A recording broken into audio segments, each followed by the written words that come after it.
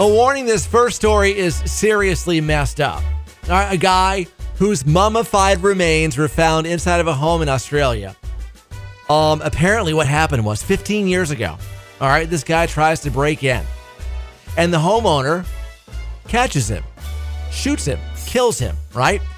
So what the homeowner do? Who's a hoarder?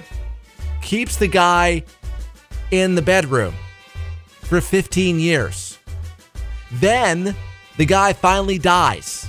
The homeowner, all right, and the murderer dies of natural causes.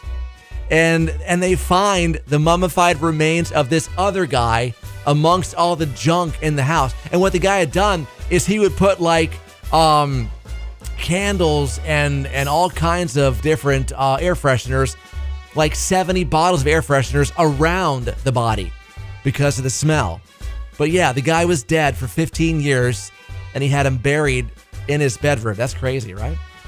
And then you got this dog. Um, well, n- normally you have a dog to protect your property, but in this case, uh, it's a, it's a grouse. It's a bird. Yeah, it's in New Hampshire. Um, it, it like hangs out the backyard, and when the homeowner, the guy, comes home and goes outside, the bird actually rides on his shoulder and head. But he doesn't behave that way with everybody else in the family, only with the homeowner.